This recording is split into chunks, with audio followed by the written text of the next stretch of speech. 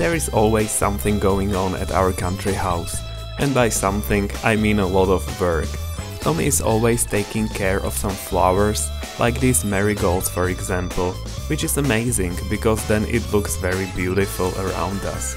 And when it's not enough, we can always plant more and look forward to next seasons with colorful expectations. It's always quite exciting seeing the fruits of our labor in the garden. We have these special roses here with very big rose hips. In English, apparently, they are called the apple roses because the fruits are so big. And I'm going to pick them, and in my head, there is this idea that I should attempt to make a rosehip jam. It wasn't easy last year, but I haven't tried from these big rose hips, so let's go and we'll see. It goes easy and it should be quite fast because the fruits are so big.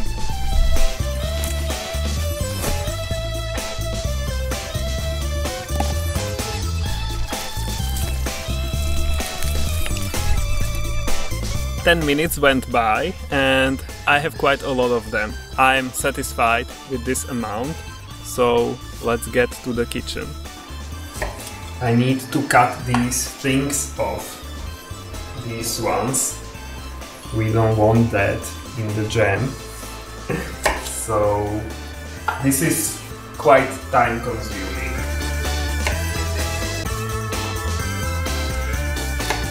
Okay, after a lot of minutes, the rose hips are ready.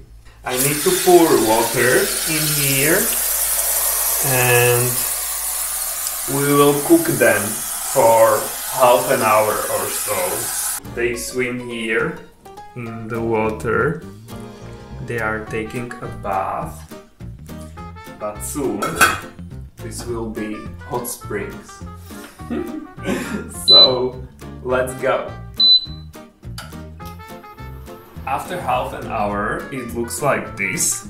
The rose hips are cooked and they are soft now. That is the point.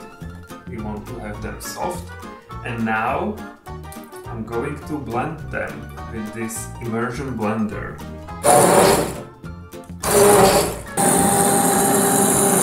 After blending, it looks like this. It's a thick sauce and there are a lot of seeds in there. And we want to get rid of them. We have this new thing which I'm really looking forward to. It's a vegetable meal or food meal, rosehip meal in our case. And the seeds should stay there and the liquid should go into this pot. But we haven't tried it yet. So this is our premiere and let's go. This will be messy.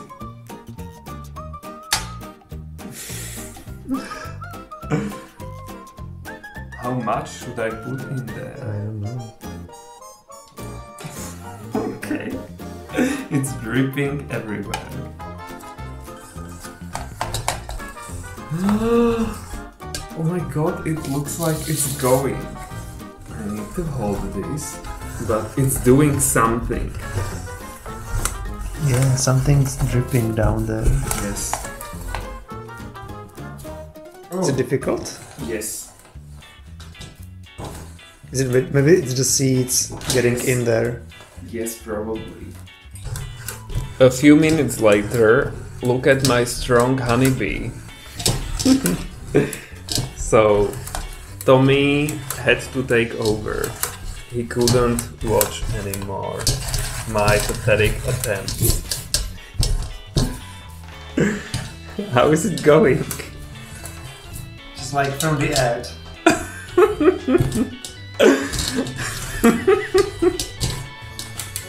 there are a lot of seeds here. Mm-hmm. There are. Maybe we should so- empty it or something. Okay. So far, we've been lazy about emptying the seeds, but it looks like it has to be done. It's working so well. I'm removing the seeds now and almost all the sauce is there. Yeah. The seeds are quite dry. I'm really happy about this. So thanks to you guys who suggested to us last year to buy this device. Yes. We don't need the big spoon. I just pour it here now. It goes so fast. Such a great device for this. Yeah. It was much better than when we tried last year with the regular rose right? Yeah. We were pouring it through a strainer and it was taking forever. So this is so much faster. Yeah. Look how dry the seeds are. Almost no sauce left. It looks like risotto or something. yeah, it does. So we are done here. We can remove this. And this is almost our jam. Now I'm going to add sugar. I don't know how much. So up to your taste. This is our taste. We'll see. I need to taste it and then when I'm satisfied, that's it. But we don't want to add too much because you guys always recommend making jams. But we don't eat jams because we prefer fresh fruits, you know, in their natural form. And in jams, in all these delicacies, there is added sugar. So we always feel a bit worse than eating natural fruits. That's why we don't make much jam and stuff like that. But rose hips you can't eat on their own. So this is like one of few forms where you can eat rose hips. You can also make rose hip tea, but that's basically it. So this needs to be done with at least a bit of sugar. Let me taste this. I've been blowing for like two minutes because it's so hot. But now it should be a nice temperature.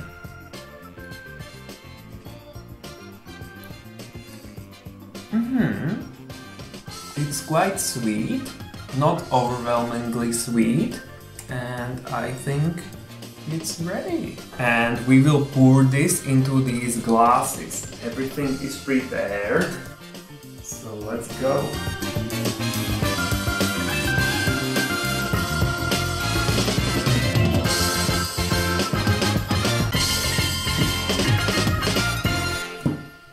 Glass of jam is done.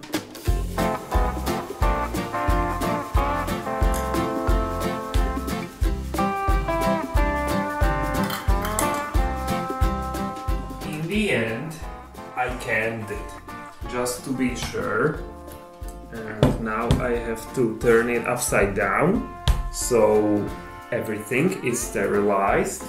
This is the way. And we have this much jam. Now it looks like rosehip sauce, I would say, because it's quite liquidy. But once it cools down, it should get thicker. But we don't really care about the consistency, so we can call it rosehip jam because it's ours.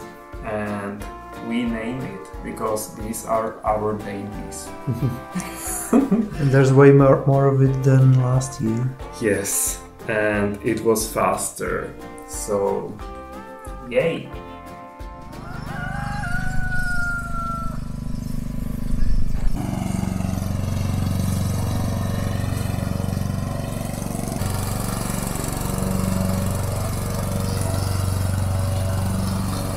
I finally finished mowing the meadow.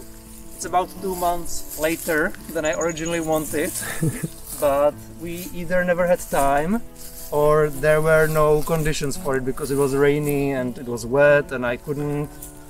And then it became too hard because uh, you know the grass and the flowers were too tall and it was too thick so it took forever but it's done and now it looks again like a lawn Mm-hmm. but uh, I don't think I will mow it until the end of the year.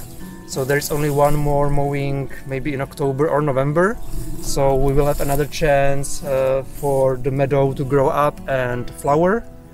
And we will see next year. We will probably do something similar again uh, because it was a nice experience and we enjoyed having the meadow here. So yeah, Yeah, we'll see what happens now. I'm curious if new flowers will appear or just the grass will get tall or something. But we re- really loved having the meadow because it was new and it was mm-hmm. more something that belongs to a natural garden. yeah.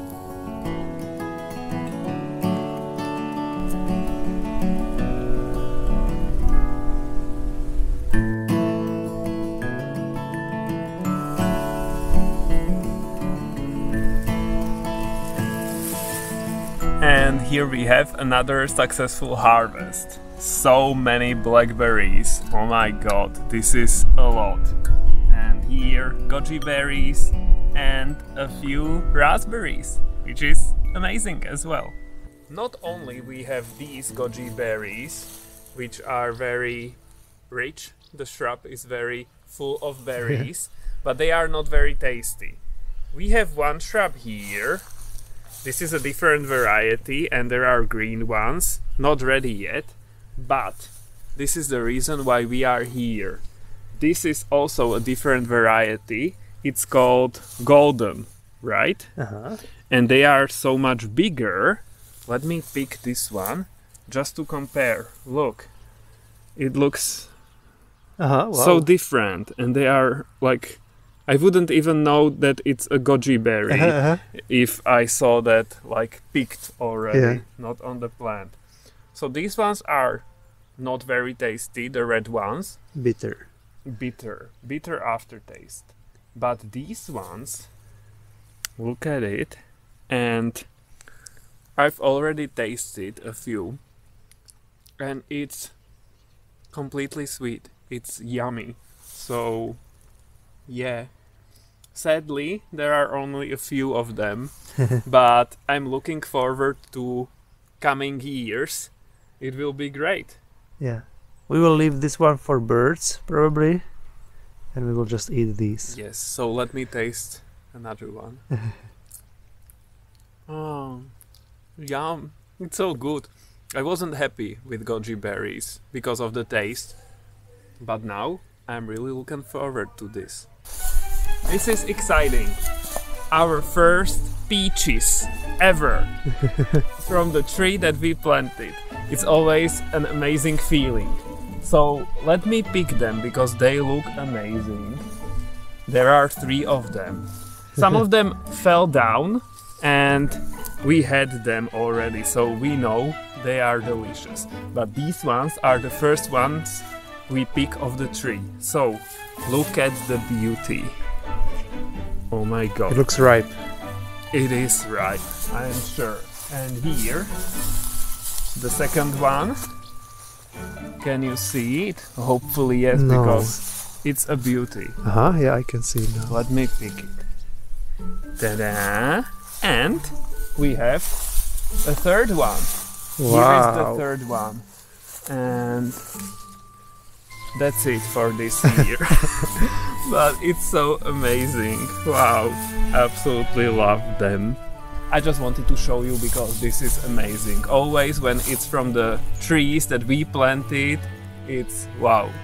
And peaches to us are so exclusive. Mhm. It's not like apples or pears or Yeah. plums. Exactly. So, yay.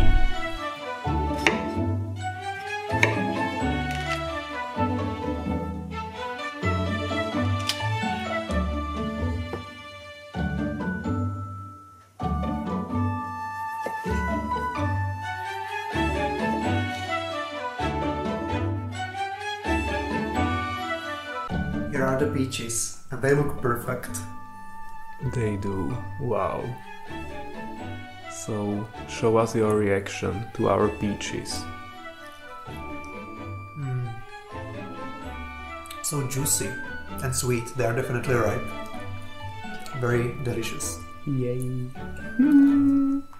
Oh my god, I am so excited when I think of our peaches. it's amazing.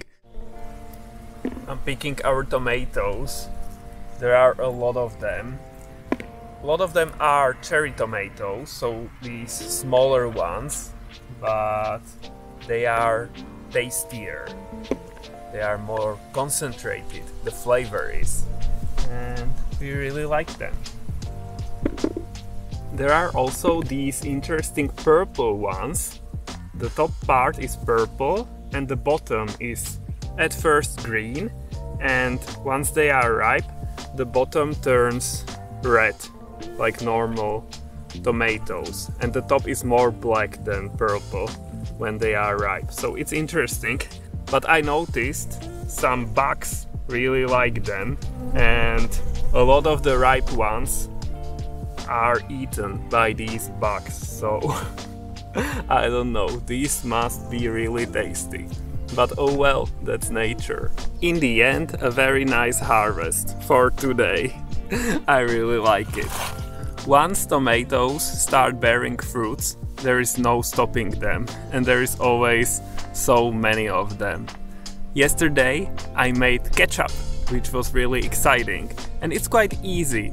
You just take a lot of tomatoes, some peppers and onions as well, so there is more flavor and then you add spices and apple vinegar and salt.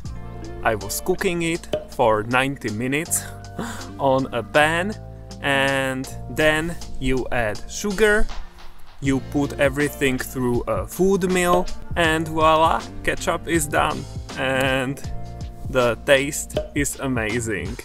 I'm always so happy when something turns out good.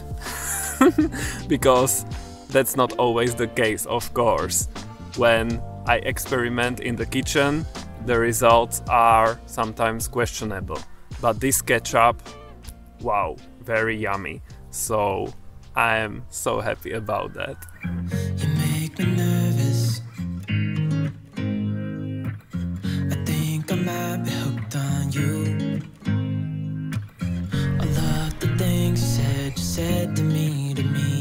Seems like you like me too.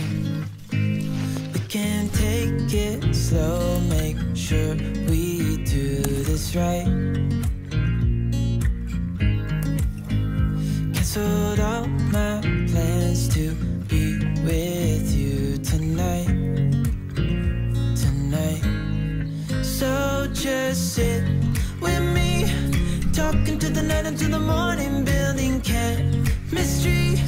I don't think I ever wanna go come closer next to me. Trying to find another way to say this, but I think, I think we were meant to be. This is our harvest from today. What do we have here, honey? Where should I start? Here. So that's plums. hmm These ones are the sweet ones from the tree that's here in the yard, right next to us.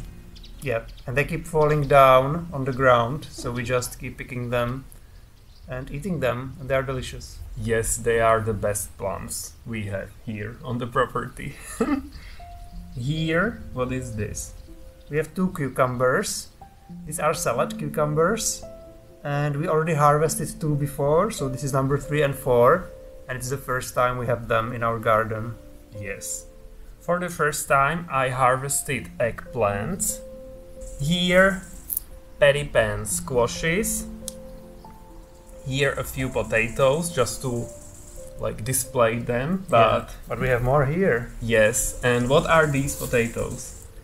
These are actually potatoes that grew on our property on their own from our last year's harvest because we didn't harvest all of them, obviously. So these are for free. Yeah. Here we have three lettuce. I picked the ugliest ones because we want to start with them. And here a lot of berries, a bit of red currants. These are the last ones. Here aronia berries with goji berries. Here we have more goji berries, and here black what is it? Blackberries. yeah, so many different English names. Yeah. So it's hard to remember, but it looks great, I think. Very nice. Yes. As you can see, we are always excited about our harvest and we value every little piece. Late summer and early autumn are the richest when it comes to harvesting, so the time spent in the garden is awesome.